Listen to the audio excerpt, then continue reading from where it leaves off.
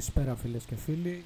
Άλλο ένα pre-game show με τον Κώστα Σαραντόπουλο. Θα είμαστε μαζί την επόμενη ώρα. Ε, απευθείας από το NSTV Live όπως μας παρακολουθείτε και στη πλατφόρμα nstv.gr πατάτε το play στο NSTV Live και μας ακούτε ζωε... κανονικά όπως και με βλέπετε. Έχουμε και σήμερα πολύ ωραία πράγματα για να πούμε. Μια εβδομάδα που είχαμε πολύ ωραία ε, παιχνίδια ε, και εδώ στο ελληνικό πρωτάθλημα αλλά και στο τοπικό μας αθλητισμό εδώ στη Νέα Σμύρνη. Είχαμε φινάλες στην ε, αγωνιστική του Elite League εκεί που τα play-off αναμένονται να είναι πολύ δυνατά. Ε, έχουμε να πούμε για την ε, βαθμολογία των ε, δικών μας ομάδων Μίλωνα και Πανιωνίου οι οποίοι τερμάτισαν πολύ ψηλά στη βαθμολογία της Elite League. Πιο συγκεκριμένα ο Πανιωνίος τερμάτισε πρώτος και ο Μίλωνας μετά τη μεγάλη νίκη που έκανε μέσα στον Νέα Μεγαρίδας στα Μέγαρα κατάφερε και με την ισοβαθμία βρέθηκε τρίτος ε, παίρνοντας και το πλεονέκτημα της έδρας εν ώψη play-off κάτι πολύ σημαντικό γιατί οι ομάδες εκτός από το να παλέψουν να είναι στις πρώτες θέσεις η πρώτη τετράδα που δίνει και πλεονέκτημα ε, είναι ένα μπόνους. Σίγουρα δεν, ε, σου δίνει κάτι, δεν σου δίνει κατευθείαν την άνοδο αλλά σου δίνει ένα πολύ δυνατό αβαντάζ μπορεί να πεις λόγω ότι έχεις και την έδρα σου σαν ε, στους βασικούς στους πρώτους αγώνες. Ε, βέβαια εντάξει τα πλεονεκτήματα σπάνε πλέον στις μέρες μας. Ε, στο πιο παλιά στο μπάσκετ ήταν πολύ δυνατό να σπάσει κάποια έδρα πολύ δύσκολο. Πλέον δεν είναι καθόλου δύσκολο. Αλλά εμείς με τη σειρά μας να ευχηθούμε καλή επιτυχία και στον ε, Μίλωνα και στον Πανιόνιο να πάρουν ε, την άνοδο για την ε, ε, Basket League. Ε, από εκεί και πέρα αναμένονται πολύ δυνατοί αγώνες όπως είπα πριν και από όλες τις ομάδες διότι όλη η οχτάδα αποτελείται από πολύ γνωστές και δυνατές ομάδες φέτος στην Elite League ε, να πω καλησπέρα καταρχάς και στο φίλο μου τον Αντώνη που με ακούει από τη Θεσσαλονίκη, ε, φίλος του ΠΑΟΚ και καλή επιτυχία μου και αύριο για τον ε, ΠΑΟΚ και για τον Ολυμπιακό που δίνουν τις δικές τους μάχες για τα πρώιμη τελικά του Conference League. Δύο ελληνικές ομάδες ε, μάχονται για τους ε, 8. Πολύ σημαντικό, μπας και πάρουμε κανένα βαθμό σαν χώρα και καταφέρνουμε να βγάζουμε περισσότερες ομάδες στην Ευρώπη. Θα μπορούσε πιστεύω κατά τη γνώμη μου να ήταν και ο Παναθηναϊκός αλλά και η ΑΕΚ ε, εντάξει, μπορεί να μην ήταν και αυτή στους 8, να είχαμε 4 ελληνικέ ομάδες, αλλά να είχαμε σίγουρα 4, ε, με συγχωρείτε 3, διότι ο Πάοκ έχει περάσει πρώτος στον όμιλο στην προηγούμενη φάση και από εκεί και πέρα γιατί να μην έχουμε και 3 ομάδες ε, στους 8 αυτή τη στιγμή. Καλά, το ιδανικό θα ήταν και 4, απλά λέμε τώρα. Ε, από εκεί και πέρα θα πούμε βαθμολογίες για την Elite League, ε, θα πούμε για το βόλεϊ των αντρών, ο οποίος, ο οποίος πέρασε τελικό και θα αγωνιστεί κόντρα στον Όφη. Ε, θα πούμε για Super League ε, την ε, τέταρτη αγωνιστική και την τρίτη που την τρίτη και την τέταρτη αγωνιστική αντίστοιχα γιατί στην ε, τέταρτη αγωνιστική από ό,τι θυμάστε η εκπομπή τελείωσε μόλις ξεκίνησε ο αγώνας του Παναθηναϊκού με την ΑΕΚ. Ε, θα πούμε και εκεί επόμενες αγωνιστικές και Super League 2 και Champions League θα πούμε. Έχουμε αρκετά πραγματάκια να πούμε. Θα ξεκινήσουμε όμως με τα τοπικά όπως πάντα ξεκινάμε εδώ στην εκπομπή μας. Για Μήλωνα Πανιόνιο αντρικό γυναικείο βόλεϊ και για το αντρικό βο, ε, κυρίως ε, βόλεϊ του Μήλωνα θα πούμε κυρίως για τις μεταγραφές ε, και για τις ανανεώσεις που γίνονται. Έχουμε να πούμε για το σπουδαίο, ε, για το σπουδαίο ιστορικό Πανιόνιο ο οποίος επιστρέφει μετά από τρία χρόνια σε επαγγελματικές κατηγορίες και πιο συγκεκριμένα στην Super League 2. Ε, εντάξει, ήταν μια τριετία την οποία δεν θα θέλει κανείς να θυμάται εννοείται. Ε, μπορείτε να το πάρετε ότι ο Πανιόνιος γύρισε κάθε πιθανό και απίθανο χωριό, κομμόπολη της ε, Ελλάδος, μέχρι και στα νησιά έφτασε για να παλεύει για την επιστροφή του στις επαγγελματικές κατηγορίες. Ε, όλα καλά φέτος. Ε, πήρε την πολυπόθητη άνοδο που θα μπορούσε να έχει πάρει και πέρσι. Αλλά φέτος έγινε καλύτερη δουλειά, μπορούμε να το πούμε, από τη διοίκηση. Ήρθαν πιο έμπειροι ποδοσφαιριστές που ξέρουν την κατηγορία και από μεγαλύτερης τάξης κατηγορίας παίχτες.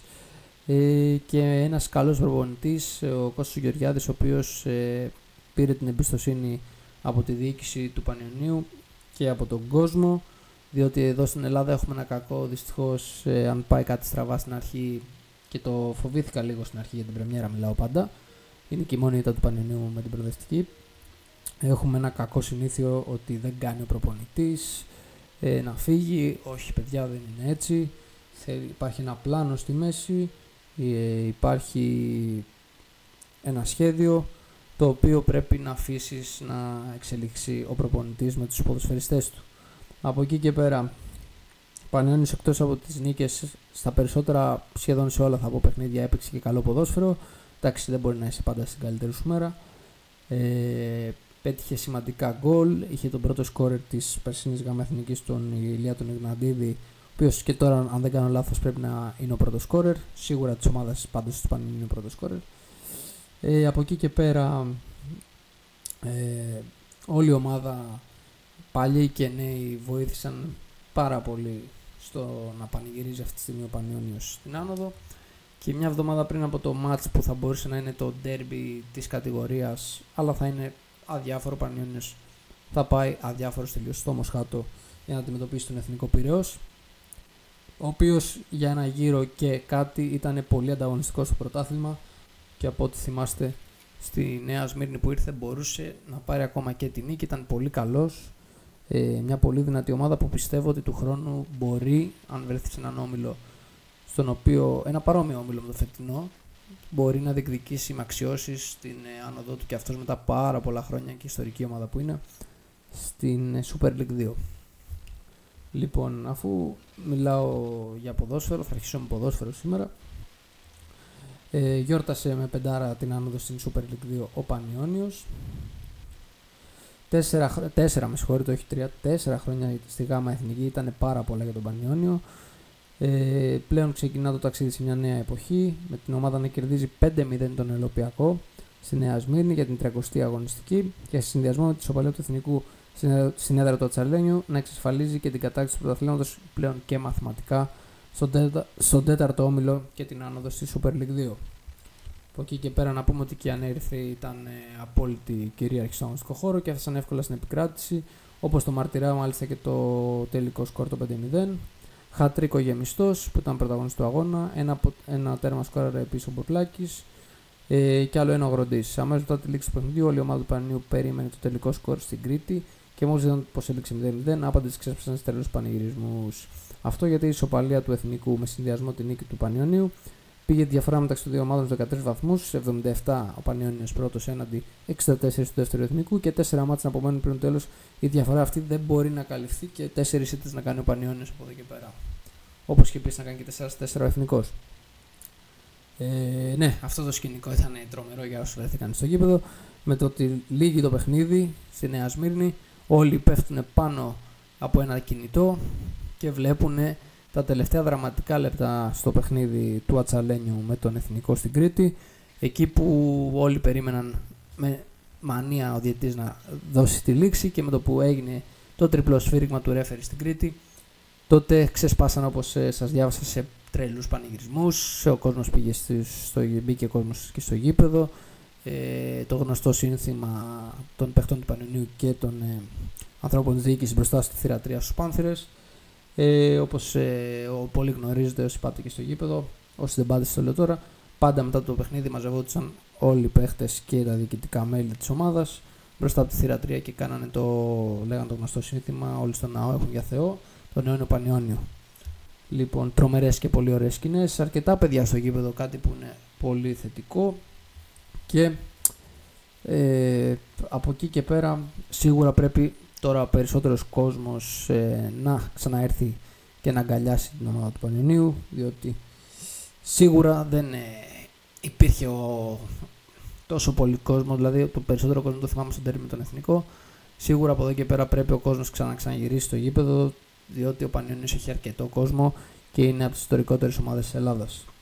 Λοιπόν, τέλος να σημειώσουμε πως ήταν η δεύτερη άνοδο που πανηγύρισαν στον Πανιόνιο φέτος μετά από αυτή τη γυναικείας ομάδας που έγινε στη Volley League με τους φίλους του συλλόγου να περιμένουν άλλες δύο. Μία στο μπάσκετ ε, με την ομάδα που έχει τερματίσει πρώτη στην κανονική διάρκεια της Elite League και μπαίνει με πλεονέκτημα έδρα στα playoff. Και άλλη μία στο αντρικό βόλεϊ εκεί που οι Κιανέριθροι θα κάνουν προσπάθεια έναντι του Όφη με μειονέκτημα έδρα στους τελικούς του ανώδου της Pre League. Ε, η εντεκάδα του παιχνιδιού, ο Πανιόνιος του Κώστα Γεωργιάδη με σκαφίδα Ξύγκορο Διονέλη, Ποτουρίδη, Πότσι, Παντελίδης πέρασε αλλαγή, Τσιμιδόπουλος, Στούπης, Παπαχαραλάμπους πέρασε αλλαγή, Γέμιστος Μπουρλάκης, Γροντής, Μπρέγκου πέρασε αλλαγή, Αρναρέλης και Καλάγια που πέρασε επίσης αλλαγή. Πανηγύρισαν μια πολύ μεγάλη νίκη γιατί ήταν και το σκορ ε, πολύ ευρύ και την επιστροφή τους στα επαγγελματικά σαλόνια του ελληνικού ποδοσφαίρου. Λοιπόν, ε, αυτά τώρα τυπικά θα σας πω και την ε, ε, επόμενη αγωνιστική στο τεταρτόμιλο της ΓΑΜΑ Εθνικής.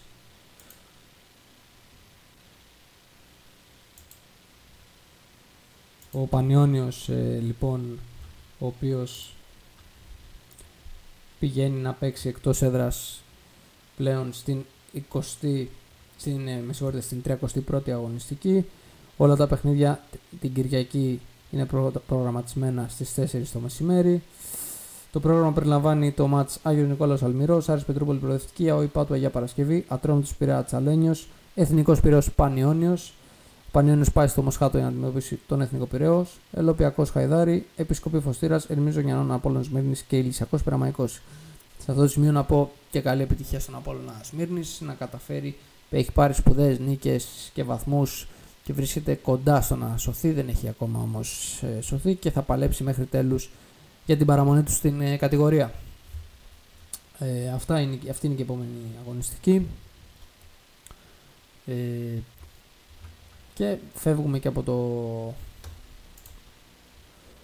από το ποδοσφαιρικό Πανιόνιο ε, αδιάφορο όπως σας είπα το παιχνίδι από εκεί πέρα εθνικό αλλά ο Πανιόνιος θα πάει να παίξει σίγουρα για τη φανέλα του και για την ιστορία του στο πρωτάθλημα από εκεί και πέρα ε, δεν έχουμε κάτι άλλο να συμπληρώσουμε για το ποδοσφαιρικό Πανιόνιο αναμένονται σίγουρα εξελίξεις αφού τώρα και η ομάδα εκλείδωσε και μαθηματικά και περιμένουμε την επόμενη μέρα πλέον στην ε, Β' Εθνική, στην λεγόμενη Super League 2. Ε, πριν περάσουμε στο μπάσκετ θα πάμε στο πρώτο μας ε, μουσικό διάλειμμα να πάρουμε και εμείς μια ανάσα να πάρετε κι εσείς και επιστρέφουμε σε πολύ λίγο.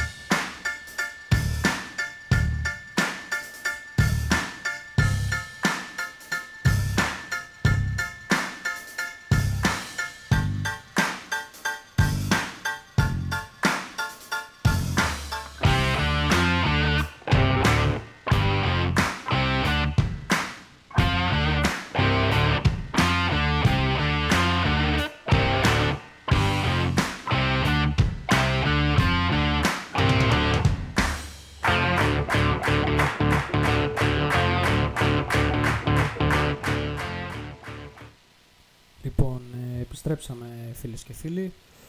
Συνεχίζουμε, περνάμε στο μπάσκετ και στην Elite League πιο συγκεκριμένα ε, για να σας πούμε και εκεί τα αποτελέσματα που είχαμε το Σαββατοκύριακο και την τελευταία αγωνιστική που έκρινε και την βαθμολογία την τελική πριν τα, τις μάχες των play-off. Αναμένονται και εκεί μεγάλες ε, μάχες. Ε, μένει να μάθουμε τους αντιπάλους και πώς θα παίξουν. Νομίζω πηγαίνει πρώτος όγδος όπως είναι στην ε, Euroleague, αν δεν κάνω λάθος. Λοιπόν, ε, θα πούμε την τελευταία αγωνιστική και τα ε, βαθμολογίες και αποτελέσματα επίσης. Δώστε μου απλά ένα λεπτάκι. Εδώ είμαστε, οκ. Λοιπόν, τελευταία αγωνιστική και η τριακοστή αγωνιστική. Ε, Αμίντας Ελευθερούπολη 96-74. Δόξα Λευκάδα Ηρακλής ε, 71-79, σπουδαίο διπλό για τον Γυραιό, ο οποίος δεν κατάφερε όμως να περάσει το Μίλωνα διότι πήρε σπουδαίο διπλό ο Μίλωνας μέσα στη Μεγαρίδα και δεν έχει την ισοβαθμία, στην τριπλή ισοβαθμία δεν υπερτερεί ο Ηρακλής του Μίλωνα. Μήκονο Έα Ευόσμου 62-84, σπουδαίο διπλό για τον Έα Ευόσμου. Νέα Μεγάριδα Μίλωνας 83-99. Πανερυθραϊκός Ερμής Σχηματάριου 82-88. Πανιόνιο Εσπέρο 70-64. Παπάγου Χάρλο Τρικούπη 85-66 και ψυχικό κόρυβος Αμαλιάδα 73-72. Όπως είδατε, αρκετές ομάδες οι οποίες κινδύνευαν εν τέλει πήραν σπουδαίες νίκες. Α, και πάμε και στην βαθμολογία.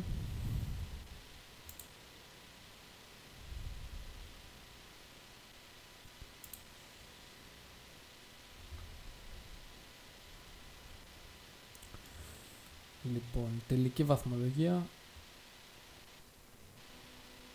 Α, να πούμε ότι αγωνίστηκαν για ημιτελικά για την 7η 8 για το ποιος θα μπει στην οκτάδα και 1ο 10ο. Ο Ερμής Ματαρίου νίκησε με 74-69 σήμερα την Δόξα Λευκάδας και ο Παπάγος στη Μύκονο 96-67. Για να δούμε ποιος θα έμπαινε στην τελική οκτάδα.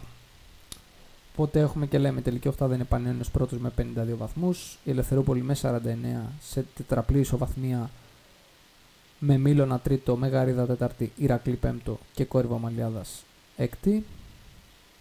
Έβδομος πλέον ε, ο Ερμής ε, η Δόξα Λευκάδας και όγδοος ο Παπάγος. Από εκεί και πέρα περιμένουμε εφόσον πλέον βγήκε Βγήκε η οχτάδα. Αναμένουμε με Ερμή Σηματαρίου 7ο και Παπάγο όπως επαναλαμβάνω 8ο. Αναμένουμε πλέον τα παιχνίδια. Πρώτος 8ος όπως είπα. Δεύτερος 7ος. Τρίτος έκτος. Θα σας πω και αναλυτικά μια στιγμή. Ο Πανέωνιος θα παίξει με τον Ερμή Σχηματαρίου. Η Ελευθερούπολη θα παίξει με τη δόξα Λευκάδας. Όχι, με συγχωρείτε, η Ελευθερόπολη θα παίξει με τον ε, Παπάγο. Ο Μίλωνας θα παίξει με τον κόρυβο Αμαλιάδας με πλεονέκτημα της έδρας. Και η Μεγαρίδα επίσημη πλεονέκτημα της έδρας κόντρα στον Γυρεό, τον Ηρακλή. Σε σπουδαίες αναμετρήσεις για την άνοδο στην Basket League. Ε, από εκεί και πέρα να δω αν έχουμε κάτι άλλο να συμπληρώσουμε για το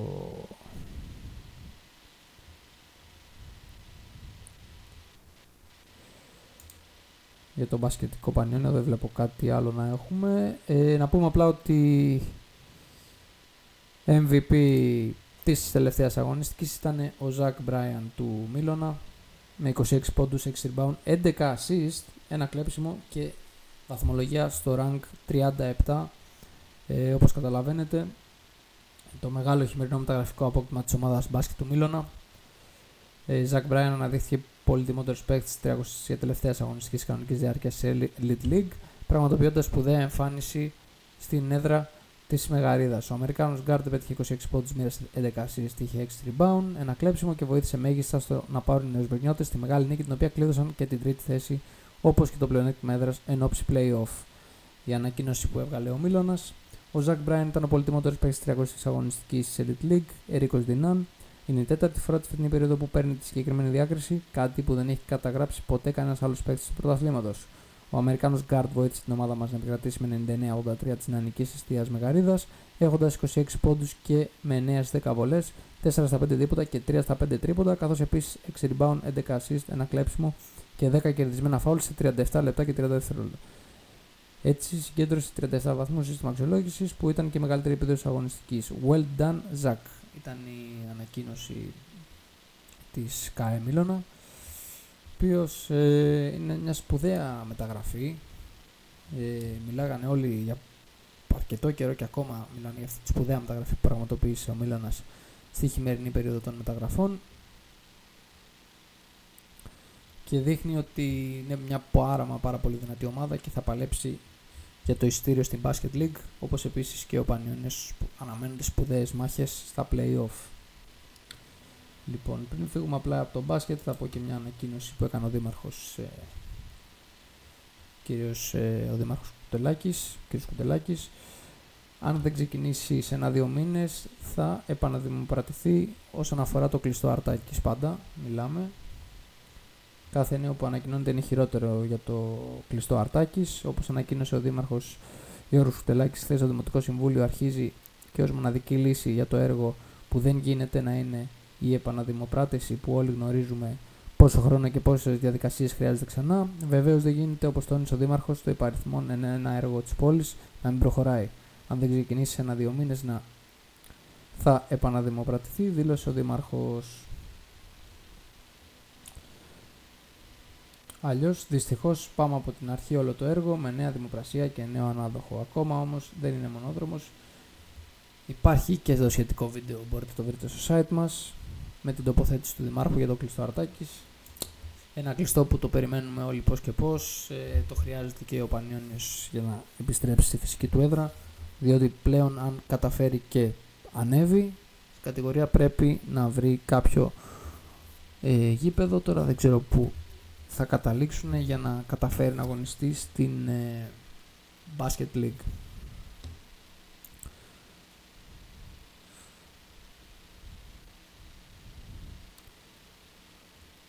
από εκεί και πέρα ε, όπως σας είπα οι ομάδες μας συνεχίζουν από, να προοδεύουν το καλό στο καλύτερο και είμαστε όλοι σίγουρα πολύ μα πολύ περήφανοι. Λοιπόν και προχωράμε και στο βόλεϊ.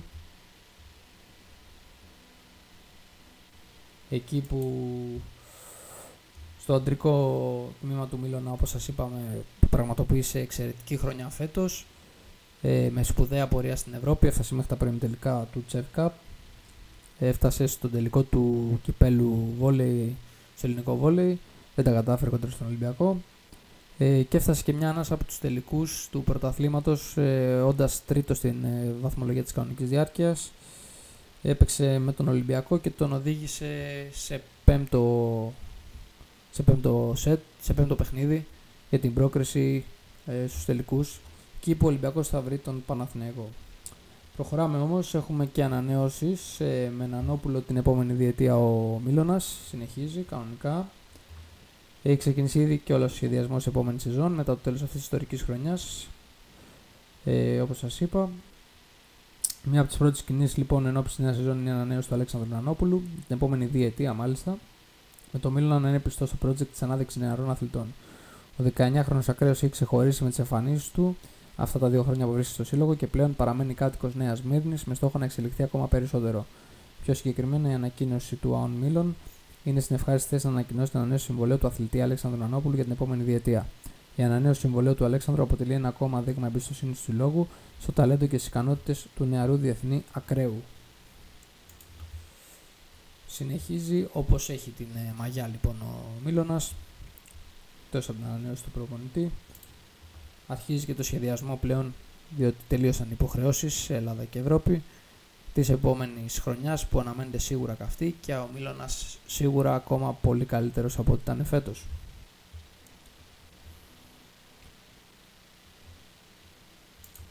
Λοιπόν, ε, παραμένουμε στο Μίλωνα. Το πρώτο βήμα της πρόκρισης ε, για την γυναική ομάδα του Μίλωνα με 3-0 κόντρα στον Απόλλωνα Το έκανε στο κρίσος πέρσι. Ε, κέρδισε σχετικά πολύ εύκολα στον ε, τελικό που έγινε και μάλιστα κέρδισε και έξω, θα σας τα πω. Το Σάββατο νίκησε με ένα 3 σετ μετά μέσα στην Καλαμάτα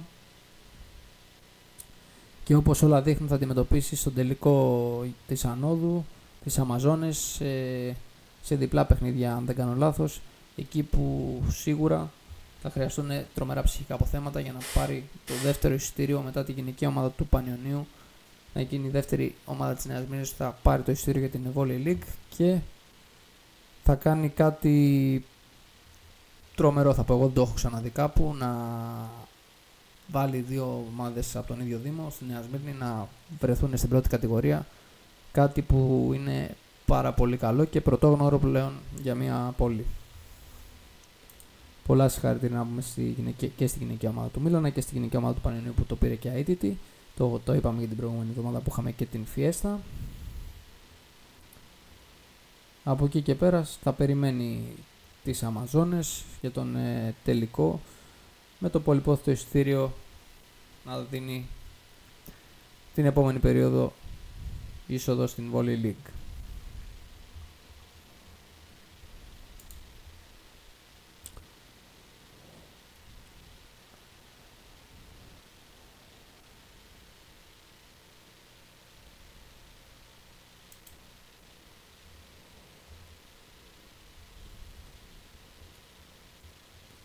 Από εκεί και πέρα να πούμε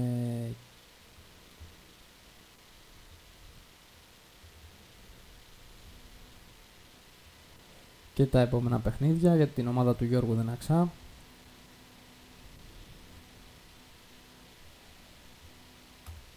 οι οποίες θα παίξουν με τις Αμαζόνες ε, για το εισιτήριο όπως σας είπα στην πρώτη κατηγορία έχοντας πάντα μειονέκτημα έδρας, δεν το ανέφερα αυτό το πρώτο παιχνίδι θα γίνει το Σάββατο, 14 στην Ερυθρέα και μετά η Ρεβάν θα ακολουθήσει εδώ πέρα στο κλειστό κρύο πέρσι. Ευχής όλων να πάρει ένα σπουδαίο διπλό, το οποίο για μένα καταφέρει η ομάδα του Μίλωνα και κατακτήσει μέσα στην Ερυθρέα το διπλό, τότε θα είναι με το, το 1,5 πόδι στην ε, Volley League. Τα σετ ε, του παιχνιδιού 20-25, 21-25 ισοφάρης από Καλαμάτας, 25-22 και 1-2 με συγχωρείτε, 25-22 το έκανε Απόλλων Καλαμάτας, 21-25 ήταν το δεύτερο σετ που έκανε 0-2 Μίλωνας και το τελικό 1-3, 16-25 πολύ μα πολύ εύκολα.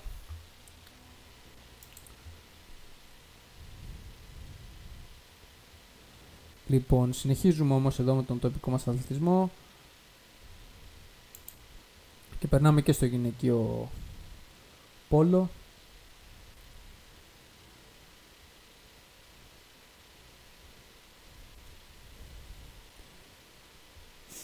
εκεί που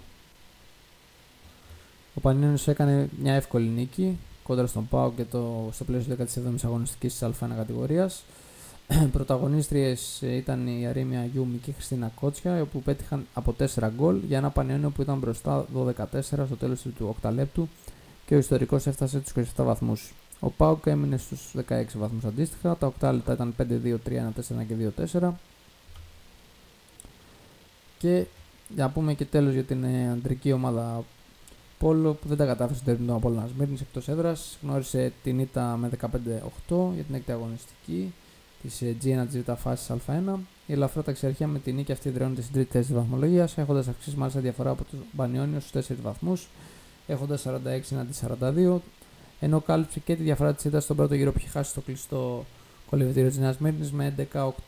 Οι νέου μηνιώτες προηγήθηκαν 3-0 στο ξεκίνημα, αλλά στη συνέχεια ο Απόλλων με φοβερή άμυνα και τους Μπογκδάνοβιτς, ε, Σουσιασβίλη και Τρούλο σε μεγάλη μέρα επιθετικά πήραν τα ενία και αυξήσαν τη διαφορά μέχρι το τέλος ε, του αγώνα. Τα 8 λεπτά ήταν 3-4, 5-2, 5-3 και 2-0.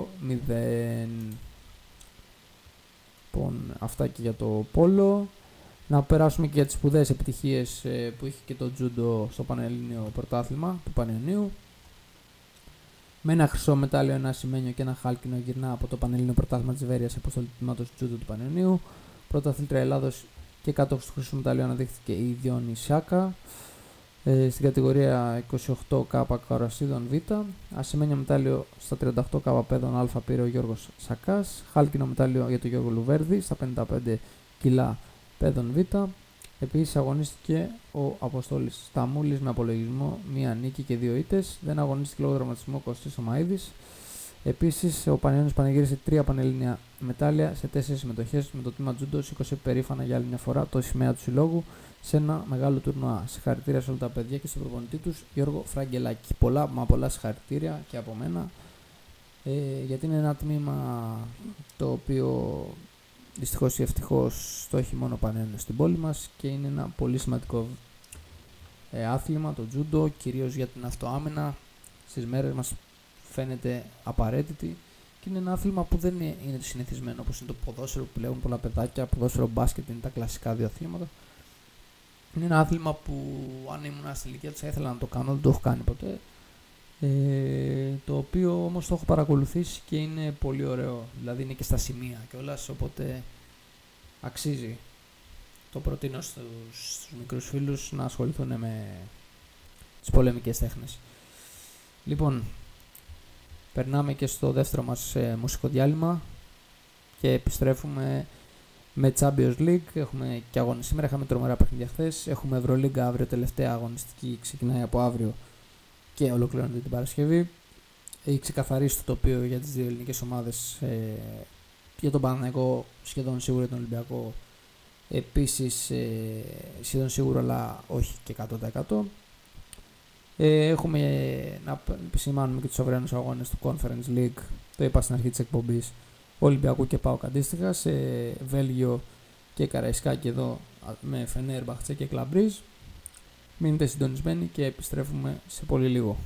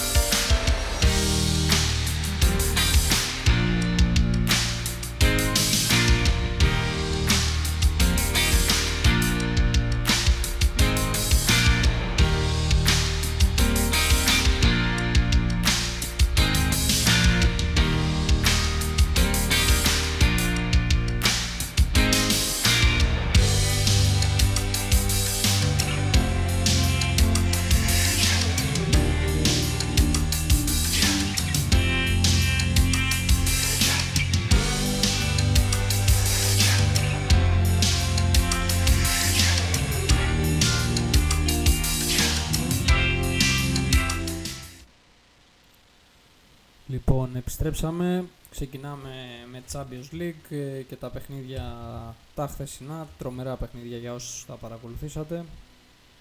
Για όσους δεν τα είδατε απλά χάσατε. Ε, θα σας πω αμέσως τώρα και τα αποτελέσματα. Real Madrid Manchester City, το σπουδαίο αυτό που derby περιμέναμε όλοι. 3-3, τρομερό αποτέλεσμα. Και όχι μόνο αυτό, αλλά ξεκίνησε το match στο, πολύ νωρίς στο δεύτερο λεπτό προηγήθηκε η Manchester City. Ε, κατάφερε, ισοφάρισε η Real, η Manchester City με τον Bernardo Silva προηγήθηκε. Η Real κατάφερε και ισοφάρισε με, το, με αυτόν γκολ του Diaz στην προσπάθεια του Ροντρίγκο ε, και το 2-1 στο 12ο λεπτό και το 2-1 αμέσως μετά από ένα δίλεπτο στο 14ο λεπτό με το Ροντρίγκο με assist του Vinicius 2-1 ήταν και το σκορ του πρώτου ημιχρόνου μετά στο δεύτερο μήνυμα στο 66 ο Φόντεν με μια τρομερή γκολάρα καταφέρνει και κάνει το 2-2 για τη Manchester City και στο 71 5 λεπτά μετά ο Γκβάρντιολ ε, μετά από assist του Γκρίλης κάνει το 2-3 και δίνει προβάδισμα και ανατροπή αυτή τη φορά για τη Manchester City είχαμε ανατροπή στην ανατροπή από εκεί και πέρα η Real μετά έκανε κάποιες αλλαγές. Μπήκε ο Μόντριτ, μπήκε ο Δία, ε, πίεσε, ανέβηκε και επίσης με σπουδαίο γκολ μετά από φοβερό γύρισμα του Βινίσιου. Ο Βαλβέρδε με τρομερό σουτ κατάφερε για το 3-3. Από εκεί και πέρα μετά πέρασε και ο Χωσέλου στη θέση του Βινίσιους. Ο Άλβαρες στη θέση του Φόντεν, το οποίο ένιωσε κάποιες ενοχλήσεις. Ε, η Real είχε κάπως τα ενία μετά το 3-3 στο τελευταίο δεκάλεπτο. Ε, είχε, από, είχε δύο φάσεις, μία ήταν λίγο πιο κλασική για γκολ, δεν τα κατάφερε, οπότε καταλαβαίνετε τι μας περιμένει στη ρεβάνς του Μάντζεστερ, εκεί που αναμένεται να γίνει μια σπουδαία μάχη. Ε, από εκεί και πέρα σίγουρα θα έχουμε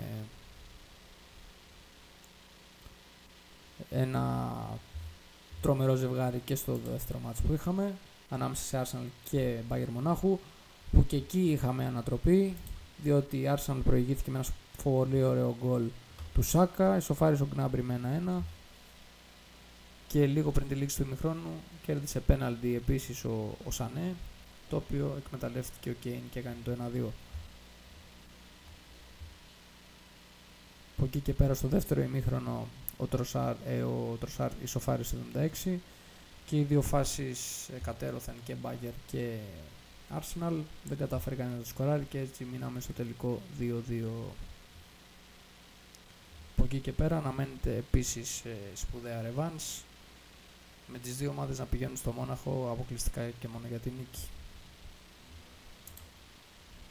Σήμερα τώρα στις 10 η ώρα έχουμε επίσης ε, σπουδαίες αναμετρήσεις Ατλέτικο Μαδρίτης Dortmund και Paris Saint-Germain Barcelona, κλασικό derby το Paris Saint-Germain Barcelona. Το έχουμε δει αρκετές φορές και σε ημιτελικά και σε προημιτελικά αλλά και σε φάση των 16. Ε, σίγουρα ένα φαβορή η Παρή αυτή την, αγωνιστική περίοδο. Τα τελευταία χρόνια βρίσκεται σε ένα καλύτερο στάδιο από την Barcelona, αλλά σίγουρα στα χαρτιά είναι μόνο το φαβορή. Στο γήπεδο θυμόμαστε όλοι και τη σπουδαία ανατροπή που είχε πετύχει η Barcelona πριν κάποια χρόνια όταν είχε τηθεί με 4-0 στο Παρίσι και όλοι που λέγανε ότι είχε τελειώσει το παιχνίδι, κατάφερε και ανέτρεψε με αυτό το σπουδαίο 6-1 και πήρε αυτή την πρόκριση στην επόμενη φάση, την οποία την οδήγησε και σε, στον τελικό τότε, το 2015 ήταν, και κατάφερε να κατακτήσει και το Champions League. Αυτά για τα σημερινά παιχνίδια. Ε, αύριο είπαμε είναι η μάχη του ΠΑΟΚ στο Βέλγιο, στο Μπρίζ, απέναντι στην Club Breeze για την πρώτη αγωνιστική στη φάση των 8 όπως επίσης ε, ακολουθεί και η μεγάλη μάχη του Ολυμπιακού με τη Φενέρμπαχτσε νωρίτερα το παιχνίδι 8 παρατέταρτο το μάτι Ολυμπιακός Φενέρμπαχτσε και 10 Breeze Pauk από εδώ και πέρα σίγουρα καμία από τις ομάδες δεν είναι φαβορή, δεν πρέπει να υποτιμηθούν. Η Φενέρ αντίστοιχα που παίζει ο Ολυμπιακός είναι πολύ πιο δυσκολότερη. Έχει ένα σπουδαίο budget, ένα ρόστερ τρομερό με σπουδαίους παίκτες όπως είναι ο Τζέκο, όπως είναι ο Τάντιτς, όπως είναι ο Λιβάκοβιτς θέρμα, όπως είναι ο Σιμάτσκι στο κέντρο. Έχει αρκετά δυνατή ομάδα.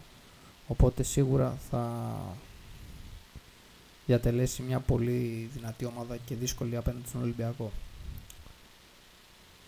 Λοιπόν, αυτά και για τα αυριανά παιχνίδια. Έχουμε επίσης ε, σπουδαία παιχνίδια και στο UEFA Europa League. Έχουμε και Ιταλικό derby εκεί, ανάμεσα σε Ρώμα και Μίλαν. Μίλαν-Ρώμα είναι το πρώτο παιχνίδι στο Μιλάνο. Liverpool-Αταλάντα, Leverkusen West Ham, Benfica Marseille, Αταλάντα Liverpool. Είναι η Revans 18 Τετάρτου. Αντίστοιχα, West Ham Bayer Leverkusen, Marseille Benfica και Ρώμα Μίλαν είναι οι Revans αυτές. Σπουδαία παιχνίδια και εκεί για τη φάση των 8 του Champions League. Λοιπόν, περνάμε και στην ε, Super League. Εκεί που είχαμε σπουδαίες μάχες στην τρίτη και τέταρτη αγωνιστική των play-off, όπως και στο play-out, γιατί και εκεί γίνεται ο κακός χαμός. Ξεκινάμε με το Λαμία Ολυμπιακός 1-5, ο Ολυμπιακός αφός ανώτερος, η Λαμία πλέον παίζει τους αγώνες απλά γιατί συμμετέχει στα play-off. Δεν έχουμε δει μέχρι στιγμής να απειλεί κάποιο αντίπαλο, έχει παίξει με ΑΕΚ, έχει παίξει με, με ΠΑΟΚ, στην Ντούμπα λίγο τον δυσκόλεψε για ένα ημίχρονο, αλλά τίποτα το σπουδαίο. Και τώρα με Ολυμπιακό ακολουθεί σίγουρα το μάτς στη Λεωφόρο, τα διπλά παιχνίδια με τον Παναθηναϊκό. Πρώτο παιχνίδι είναι στη Λεωφόρο την Κυριακή στις 5 ώρα. Επίσης την Κυριακή αντιμετωπίζει στις 8.30 η ΑΕΚ πάλι στη Φιλαδέλφια τον Άρη. Ο Ολυμπιακός και ΠΑΟΚ λόγω ότι έχουν ευρωπαϊκές υποχρεώσεις αναβλήθηκε το μεταξύ τους παιχνίδι. Ε, ο Παναθηναίκος πήρε ένα σπουδαίο διπλό το οποίο θα του φανεί σίγουρα σημαντικό βαθμολογικά και εξαργύρωσε και την νίκη του απέναντι στην ΑΕΚ με ανατροπή που έκανε την προηγούμενη Τετάρτη. Ο Ολυμπιακός είχε κερδίσει 3 με τον Άρη και ο Πάουκ 3 με τη Λαμία, αλλά όταν τελειώναμε την εκπομπή μας την περασμένη εβδομάδα, ο Ιάκ είχε προηγηθεί όπως είχα ενημερώσει και ο Παναθηναϊκός κατάφερε και ανέτρεψε το παιχνίδι. Από εκεί και πέρα, το derby της Νέας Φιλαδέλφιας είδαμε ένα φοβερό παιχνίδι. Με την ΑΕΚ να προηγείται 2-0, αλλά τον Πάοκ να βγάζει αντίδραση και να νικά και να νικά να ισοφαρίζει το τέλος 2-2 και σίγουρα έβαλε πάλι φωτιά στο πρωτάθλημα διότι η βαθμολογία αυτή τη στιγμή γράφει πρώτον τον ΠΑΟΚ με 67 βαθμούς, δεύτερη την ΑΕΚ με 66, τρίτος ο Παναγιώτης με 65, τέταρτος ο Ολυμπιακός με 63. Οπότε καταλαβαίνετε, ο πρώτος με τον τέταρτο έχουν διαφορά μόλις 4 βαθμών και γίνεται χαμός, πέμπτος ο Άρης με 48 και έκτη η Λαμία με 34. Ο Άρης πλέον το μόνο που σκέφτεται αυτή τη στιγμή είναι ο τελικός κυπέλους στις 18 Μαΐου. Τώρα που θα γίνει ακόμα δεν το γνωρίζουμε. Για Βόλο έχει ακουστεί, χωρίς κόσμο έχει ακουστεί. Μένει να δούμε από εδώ και πέρα και ελπίζουμε. Λοιπόν, αντίστοιχα στο group υποβασμού Ατρόμητος έχει σωθεί πλέον 4 βαθμούς, Πανσεραϊκός επίσης 31, Αστέρας Εμπλούς 31, Όφης 30, Βόλος 28 μετά από το σπουδαίο διπλό μέσα στον Πανατολικό και η Φυσιά 12 και αυτή τη στιγμή υποβάζονται Πανατολικός και Παζιάννο. Ε, στους αγώνες της τρίτης ε, αγωνιστικής των ε, play-out. Είχαμε όφη Παζιάννα 4-0. Ο Παζιάννα νομίζω ότι πλέον δεν έχει κάποια ελπίδα να σωθεί. Νομίζω θα είναι μία από τις δύο ομάδες που θα υποβαστούν. Έχει βάλει και πολιτήριο κιόλας και η διοίκηση για την ομάδα. Αστέρας Τρίπολης και φυσικά 1-2 σε ένα πολύ δυνατό παιχνίδι με τον Αστέρα να προηγείται και την Κυφσιά να καταφέρνει στο δεύτερο ημίχρονο μέσα σε 10 λεπτά να κάνει τρομερή ανατροπή. Ανατροπή παραμονής, ε, θα πω εγώ. Πανετολικός Βόλος 0-1 σπουδαίο διπλό παραμονής του Βόλου και έβαλε σε μπλεξίματα τον Πανετολικό. Και Ατρόμητος Πανσεραϊκός 1-1 και εκεί ωραίο παιχνίδι έγινε. Είχε κάποιες φάσεις. Ο Ατρόμητος κατάφερε να ισοφαρίσει στο τελευταία φάση του μάτς. Επόμενη αγωνιστική των ε, play out Πανσεραϊκός Όφη το Σάββατο όλα τα παιχνίδια στις 3. Βόλος Ατρόμητος στις 5.30. Πας Γιάννα Αστέρας Τρίπολης στις 7.30. Ο Πας Γιάννα εδώ παίζει το τελευταίο του χαρτί για όποια ελπίδα σωτηρίας έχει. Και στις 8 και φυσικά Πανετολικός, εδώ είναι αίμα και άμμος. Όποιος κερδίσει από τους δύο παίρνει κεφάλι και γίνεται το φαβορή για να καταφέρει να σωθεί. Αν ο Πανετολικός ιτηθεί από την Κηφισιά, τότε τα πράγματα θα είναι πολύ δύσκολα και για τον Πανετολικό. Και φυσικά να πούμε ότι εκκρεμεί και το δικαστήριο που είναι με το Βόλο που έχει κάνει την έφεση για το μείον 3 στο μεταξύ του παιχνίδι. Οπότε αναμένεται καυτό Σάββατο και καυτά play out και αυτή την αγωνιστική. Και φεύγουμε και από το ελληνικό πρωτάθλημα. Περνάμε στο μπάσκετ, εκεί που οι δύο ομάδες μας αύριο αντιμετωπίζουν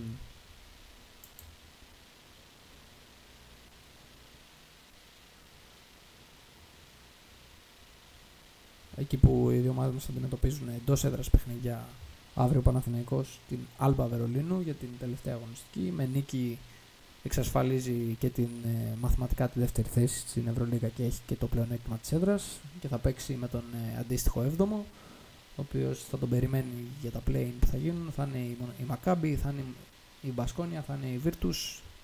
Θα δούμε αύριο. Καταρχάς θα καθαρίσει ποιος θα είναι 8ο.